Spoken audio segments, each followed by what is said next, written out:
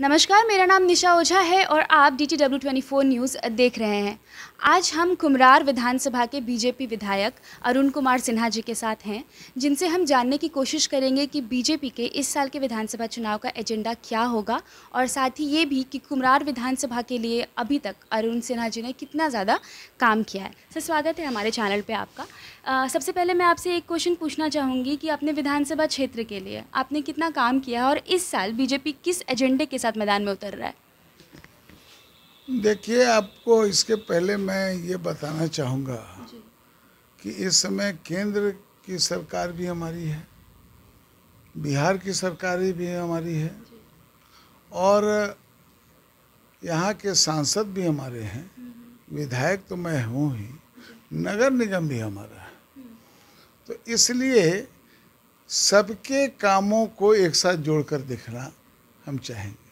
तो जहाँ तक केंद्रीय बातों को देखें मैंने सब में सब किया। अब क्या कि ये आपने तो नहीं किया था, लेकिन मैं यही कहना चाहता हूँ कि सारा सरकार और सबके कामों का श्रेय और फ़ायदा और नुकसान हम सभी को होने वाला तो केंद्र की बात करें तो आप देखेंगे कि चाहे वो तीन तलाक का मामला हो, चाहे राम जन्मभूमि का मामला हो, चाहे 370 धारा हटाने की बात हो, और चाहे सर्जिकल स्ट्राइक की बात हो या गरीबों के को गैस कनेक्शन देने का देने की बात बात हो। आप बिहार सरकार की बात करें तो कोरोना महामारी में जिस तरह से सरकार खड़ी हुई और पटना की बात लिए तो कई जगह स्टॉल लगा के हम लोगों ने किसी को भूखा नहीं रहने देंगे। और पिछली बार जो जल जमाव हो गया तो उससे हम शर्मसार हैं। लेकिन इस बार हमने संकल्प लिया कि जल जमाव नहीं होने देंगे और हमने नहीं होने दिया। इसके अलावा पप्पू यादव इस बात को हमेशा घेरते हैं कि मतलब उन्होंने जो है वो कुमरार विधानसभा क्षेत्र में जब जल जमाव हुआ था तब लोगों की मदद की थी घूम घूम कर वहाँ लोगों को पैसे बांट रहे थे खाना दे रहे थे। उस पर क्या कहेंगे आप? पप्पू यादव ने ज़रूर किया था। और जो आदमी काम बढ़िया करे उसको करना चाहिए। लेकिन पप्पू यादव ने जितना किए नहीं, उससे ज़्यादा दिखावा भी किए। ये भी बात साथ साथ हम लोगों में, आज मैं लोगों से बात कर रहा था कंकड़बा के लोगों से। कई घरों में इतना ज़्यादा राशन इस जल जमाव के समय में इकट्ठा हो गया था। सरकार के तरफ़ से भी सहायता दी जा रही थी, हम लोग के तरफ़ से भी सहायता दी जा रही थी, अन्य स्वायत्त संगठनों के तरफ़ से भी सहायता दी जा रही थी, पप्पू यादव के साथ, के तरफ़ से भी सहायता दी जा रही थी, पप्पू यादव के साथ प्लस पॉइंट ये था कि वो बैनर लगाए थे, हम लोग बैनर नहीं लगाए थे। इतना ही अंतर हो गया तो वो जो बैनर लगाया, जो जो स्टेज पर देखा, एक, इसके में एक ही बात कहेंगे जो तार पे गुजरी है, वो किसने, किसी ने नहीं जाना। आज जो तार साज से निकली, वो धुन सबने सुनी।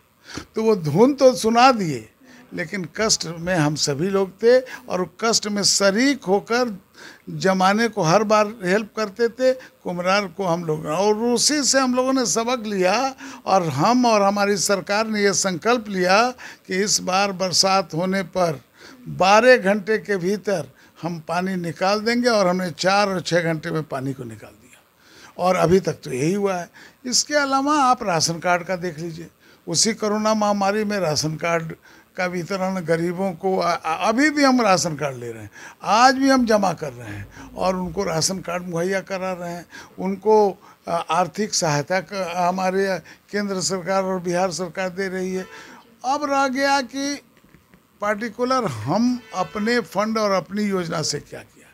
पार्कों का शहर कंकड़बाग और पटना कुमरार पार्कों का सर कर सकते हैं, इतना पार्क कहीं नहीं है। और पार्कों के उस पार्क में आज से पंद्रह बरस साल से मैं हूँ, पंद्रह साल पहले आप चले जाइए, वहाँ मवेशी और कूड़ादान था, वहाँ से जाने का मन नहीं करता था, महकता था।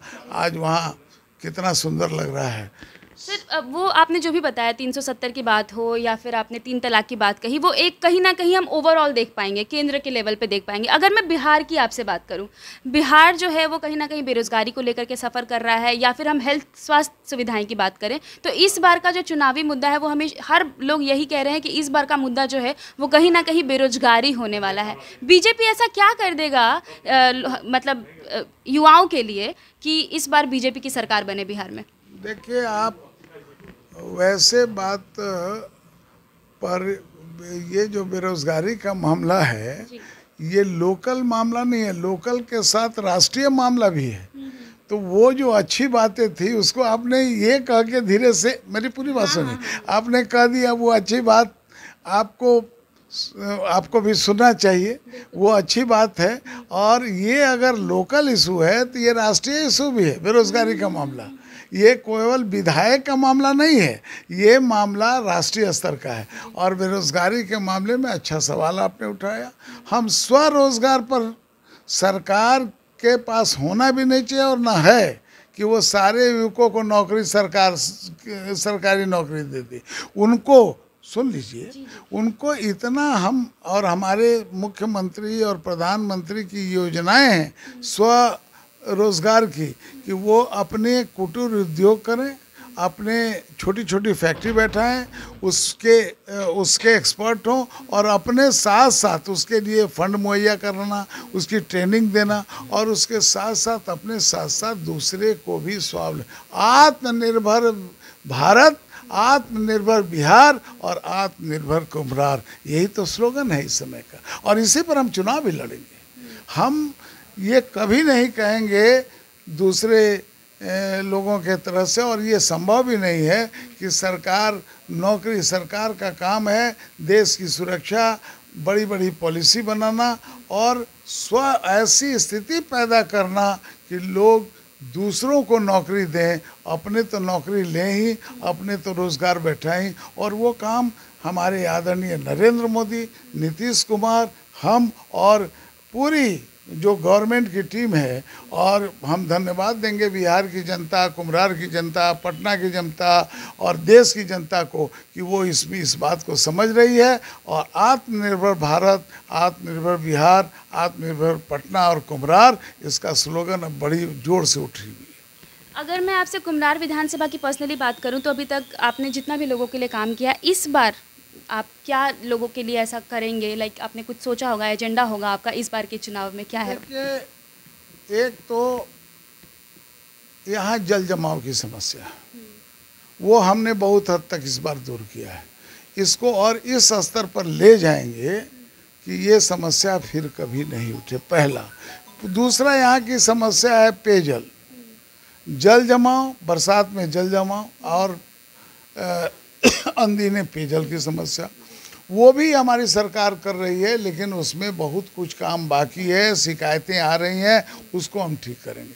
तीसरी समस्या जो है, आप जो स्वरज, स्वरोजगार, आत्मनिर्भर कुमरार और आत्मनिर्भर पटना, आत्मनिर्भर बिहार और भारत, इसके तरफ़ हम जोड़ देंगे। इन सब के अलावा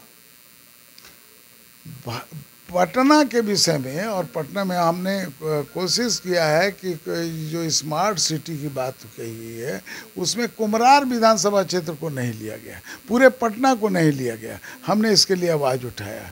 और हम अगर दोबारा विधायक बनकर आते हैं, सरकार हमारी बनती है तो हम ये पूरे पटना को ऐसा स्मार्ट सिटी बनाने की कल्पना और उस पर ज़ोर देंगे, जो दुनिया में पहले जब दुनिया में शहरों का नाम लिया जाता नगरी का नाम लिया जाता तो पाटलिपुत्र का नाम लिया जाता था आ, उसी तरह से दुनिया और भारत के नक्शे में वन टू टेन भारत में ये पटना आए इस तरह की मेरी कोशिश रहेगी तो ये हमारे साथ अरुण कुमार सिन्हा जी थे, जो कि कुमरार के विधायक हैं, और इन्होंने साफ़ यही कहा कि इस बार का एजेंडा जो है, वो सीधा एक ही होने वाला है, और वो है आत्मनिर्भर। साथ में ये जो लोग इस मुद्दे को उठा रहे हैं कि बेरोज़गारी बहुत ज़्यादा बढ़ गई है, जो युवा आए दिन आंदोलन कर रहे थे, इन्होंने इस पर भी बात कहा और कहा है कि रोज़गार देने का सरकार जो है, वो काम कर रही है।